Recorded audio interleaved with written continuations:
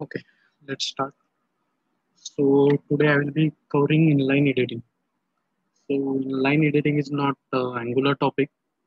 Just a way how we can insert and edit in table itself. Okay. So I'm using the same component which we have used for company. I have just created new component for uh, named with inline edit, inline editing. Okay. Copy paste the same code from company the changes are just I have added icon here. In uh, previous example, we have buttons here. I have just replaced those buttons with icons.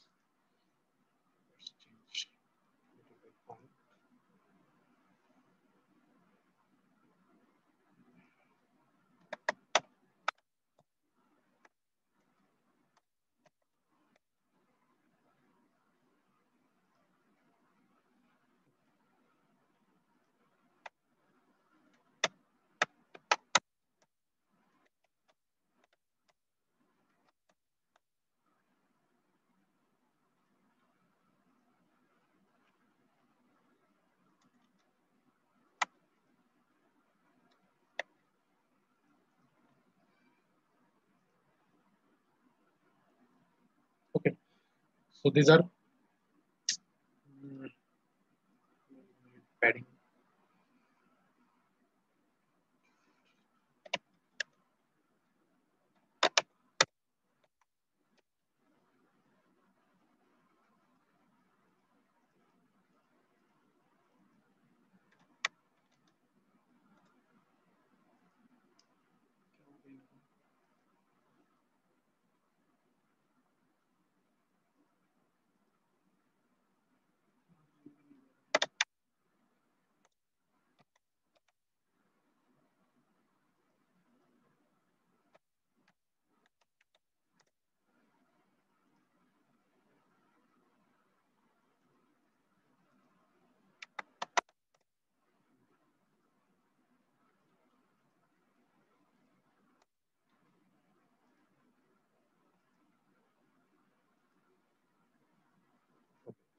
So on click of this icon, edit icon, this company ID, we are not editing company ID. So this company name text box should be, uh, this TD should be converted with the text box. Okay, this is our role. And uh, with this text box, these two icons will be replaced by save and cancel icon. Okay, so this is the task. So as you remember, as you remember, the response is simple company ID and company name which we get from the API. So in get function, we just have to add two one extra property to that response. Okay. So this is the response which we get from the particular API. So I'm just adding one additional property to this uh, array.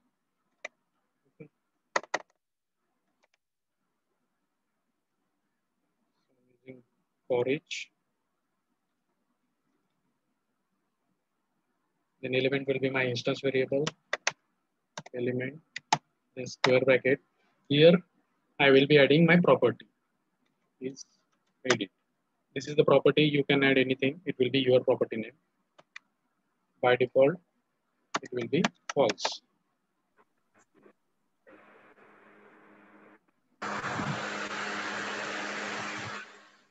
Okay. I'm just using for loop to add one property to object of this array. Okay. We'll just print it here. After company ID, I'm giving dash and we'll print that value. Just to get you know that the property will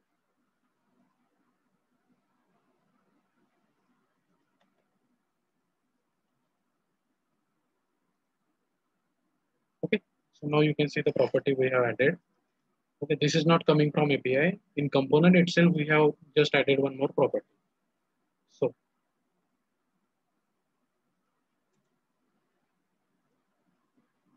this was the company TD. Okay. In company TD, if this is edit value is false, then we have to just show the property, uh, company name. If it is true, then we have to show the text box. Okay. So here I'm taking another div.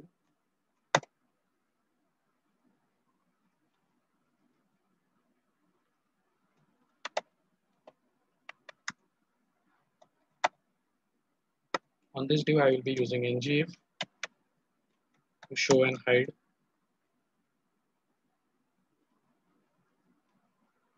So I have to show the actual name when this property is false. So I'm attaching here exclamation mark.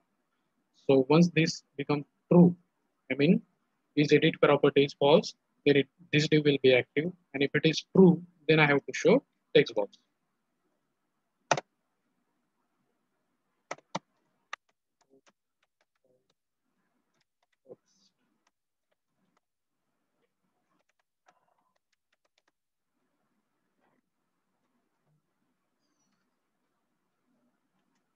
Then ng model.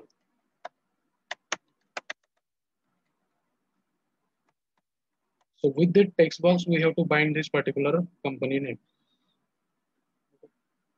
So we'll pass it here.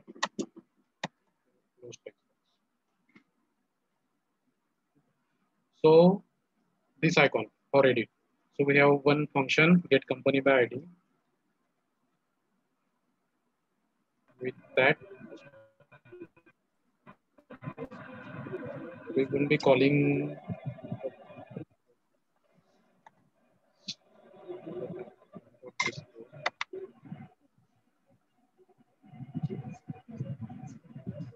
With this function I will be sending complete data I mean form not particular property I'm sending complete data. Okay.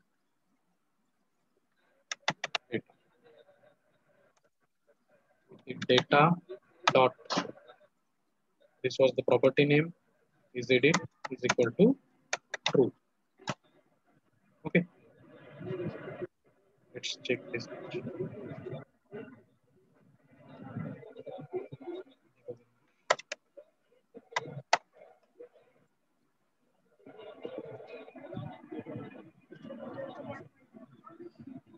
One click of this edit icon. You can see in data we get the actual data. Now is edit property is false. Okay so i'm just changing that is what is edit property to true. Okay. So now you can see the text box. Okay. So this is just inline editing basic concept. So we normally with previous example on edit we have just opened the side panel and in that side panel again we have load the form. Okay. But if we know that there are two or three columns only in the particular table so we don't need to open that particular uh, another div and show that form. In the same case we can do that in the table itself with inline edit. Okay? So plus. Now first task is done that we have opened the text box here in companies uh, TD and second task will be to replace this icon with save icon and cancel icon. So same case, this ngIf condition.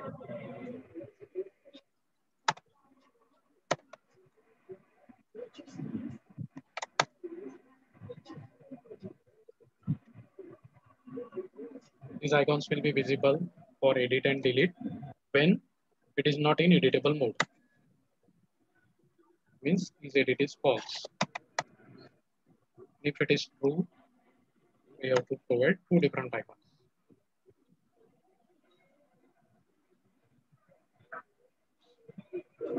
Yep.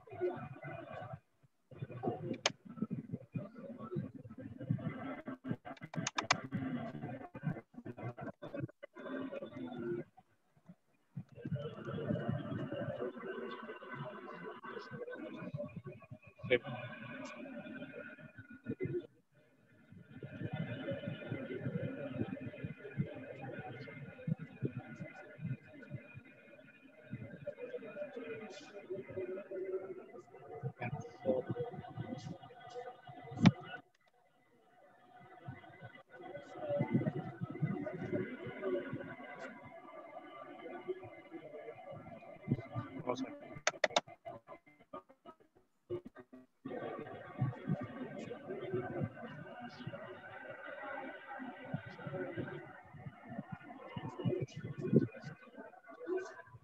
So on cross icon,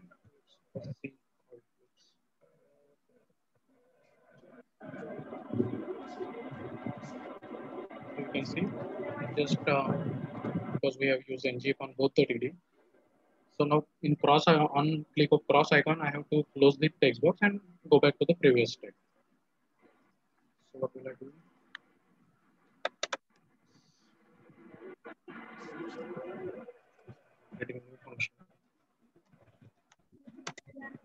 Close. We are sending data from HTML. We just have to change that is edit property to false.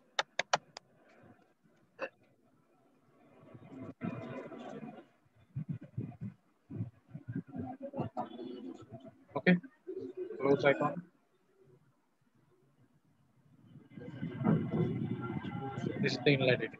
And on this uh, right click icon, we can hit our put API. So we don't need another div to open and hide. In same table, we can do all the things. You can see the values here changing to and false. It is false, it is open, it will be true. Let me know if anyone has any questions. The changes is at the time of get API function, we have just added one more property. It is not coming from API. On client side, we are adding this property to this particular array. Okay, and on edit, we are just changing that property. By default, it is false. And once it is true on edit, when we have to show the text box, we are just changing that property to true. And on close, again, we are changing the value to false. And same operation which we have on the update and will be same for the both the cases. Just way of the representation is different.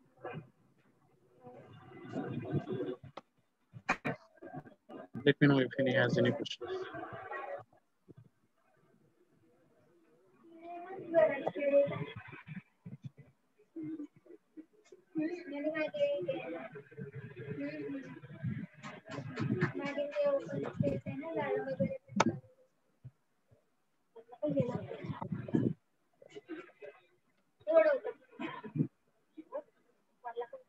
That was that's it for today. No questions, I guess.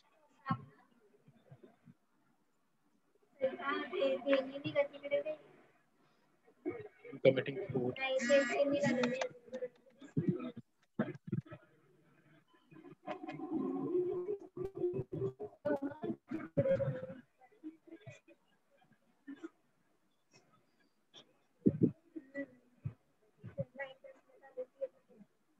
Okay,